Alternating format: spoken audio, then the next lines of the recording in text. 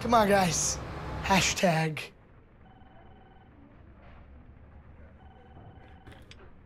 Hashtag.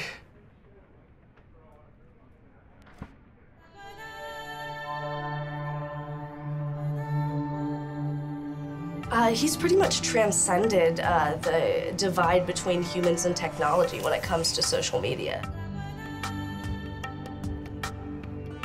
If there's a box, he's out of it. He's the greatest marketer that I've ever known. What does it mean? Are You kidding? What doesn't it mean? Don't just tweet. Feel the Twitter all around you. Social media is basically his first language. You want people to join the conversation? He is the conversation. Give a man a vine. Entertain him for six seconds. Teach a man to vine. Entertain him for life. He's a creative genius, a natural born storyteller. Content.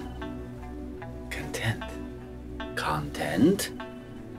Content. Content. Con- content. Content. So, con- not content. Content. Content. I, I don't know which one you want me to say.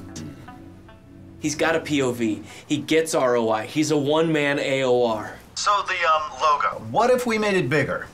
Okay, yeah, and again, Jack, I, I, I get what you're saying with that, and, and I'm tracking with you. The only snag is the logo is at the physical limitation of the site dimensions. So that's the, the physics of our universe holding us up there. That's the only thing. You know, because I'm on your team here. Okay. Um, but what if we made it bigger?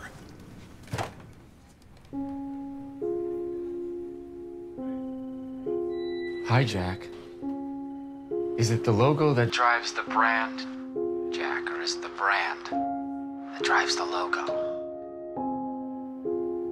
You're right. It's perfect.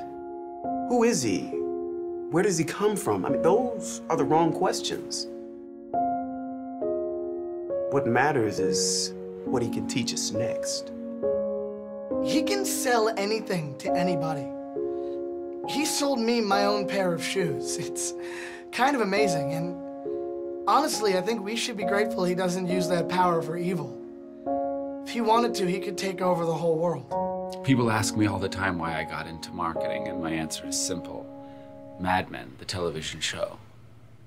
Hanging around in the rain, playing the same little game.